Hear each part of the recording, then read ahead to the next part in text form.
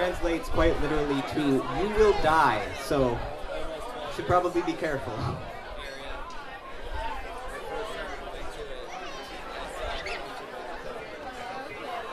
This next song is called Zendakaiwa. It's about mother-in-laws gossiping, ladies gossiping at a mother-in-law's house. So dance.